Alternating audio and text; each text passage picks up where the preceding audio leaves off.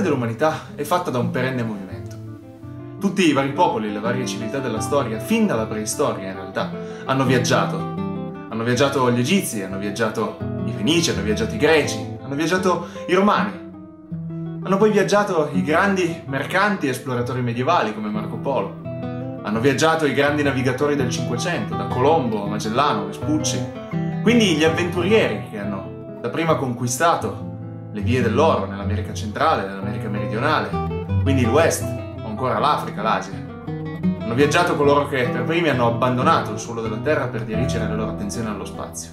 Insomma, la nostra è tutta una grande storia in viaggio, una storia in viaggio che ha tanti protagonisti, che possono essere gruppi di persone, tante persone, oppure esploratori, eroi, avventurieri, criminali. Insomma, tutto questo, tutto questo è una storia in viaggio. respecto.